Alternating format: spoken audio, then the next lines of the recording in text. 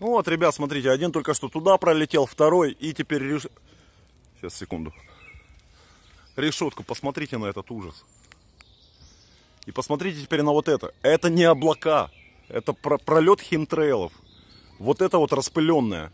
Это только что предыдущие два летели. А вот еще. Вы посмотрите.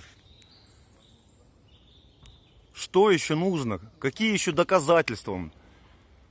Люди, поднимайте головы в небо и не пишите вопросы, что делать. Это для начала должны все это замечать и это обсуждать нужно. Чем больше, тем, тем лучше. Это страшно, ребят. Не в плане страха, а в плане того, что это жесть. Потому что как люди, как земля пробуждается, как люди просыпаются, и вот, пожалуйста, укализация с неба, повсюду химическая еда, что еще вам нужно?